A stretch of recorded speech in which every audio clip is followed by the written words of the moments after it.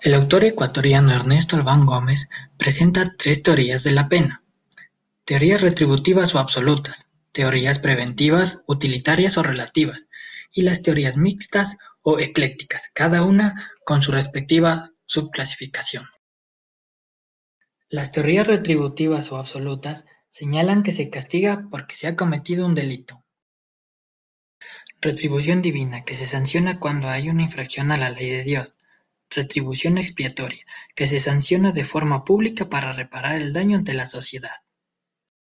Retribución moral, creada y defendida por Kant, haciendo de la ley un imperativo categórico.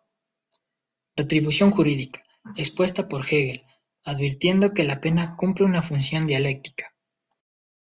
Las teorías preventivas, utilitarias o relativas sostienen que se debe castigar para que no se cometan delitos. Prevención general negativa, se da cierta amenaza hacia los habitantes si se comete algún delito. Prevención general positivo o disuasión, que tiene la intención de disuadir psicológicamente a la sociedad.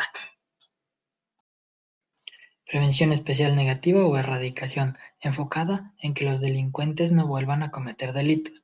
Prevención especial positiva o rehabilitación, la cual busca reintegrar al individuo a la sociedad.